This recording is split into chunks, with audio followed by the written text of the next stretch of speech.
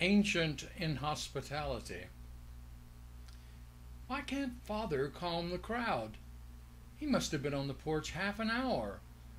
And who are these male strangers that Mother rushed to feast, even as the townsmen asked to see them? I overheard the manservant tell my maid that he had heard what seemed a great flutter of bird wings in the guests' room as they dressed. Maybe Uncle Abraham will explain when he arrives. These plains people don't seem as grand as our people did when we wandered in our tents. Why are they so special that Father has asked me to stand in this open window looking down, insisting that I dress in the nightgown which Mother put in my hope chest?